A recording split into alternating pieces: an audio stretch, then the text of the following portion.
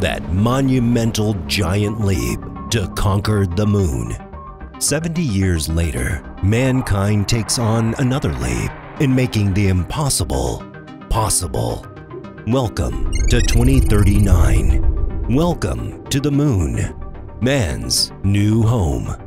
The world's biggest international joint venture is set to map out one dream for mankind to advance life here on Earth and to make its way to living on the moon.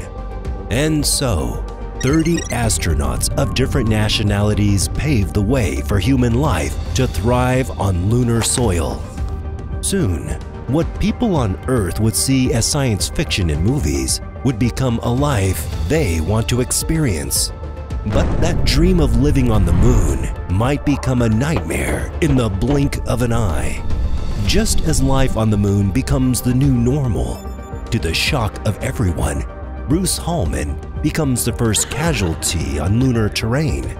Soon, the question of how safe everyone is on board the Venturius becomes the fear of all.